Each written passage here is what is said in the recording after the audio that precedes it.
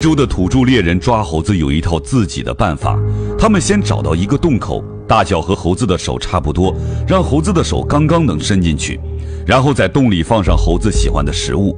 猴子经过的时候，发现了里面的食物，就会伸手去拿，因为手里抓满了食物，他的手就会被卡在洞口。绝大多数的猴子都不会松手，而是从各个角度抓住食物往外拽。等猎人回来的时候，猴子还在那儿折腾。猎人不费吹灰之力就能抓住它，这只猴子从此就失去了自由。达尔文说：“我们是由猴子进化而来，但我们比猴子强不了太多。很多人的焦虑、痛苦根源就是因为手里抓着那把吃的，拽不出来而已。森林里有很多大树，树上有很多果子，可是你都忘了，我执为根，生诸烦恼。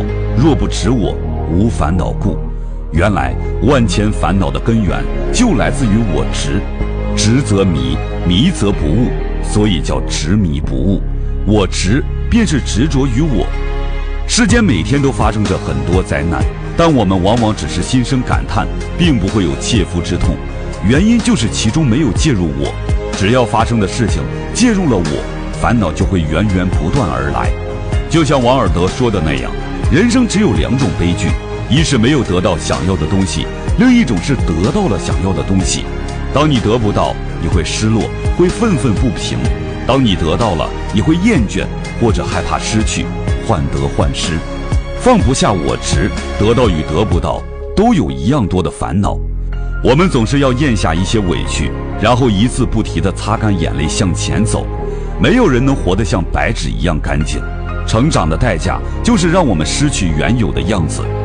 你在意什么，什么就会折磨你；你计较什么，什么就会困扰你。生活之苦，苦于执着；人生之难，难于放下。学会放下，才能更好的前行。我是陈克将军，感谢一路有你，加油！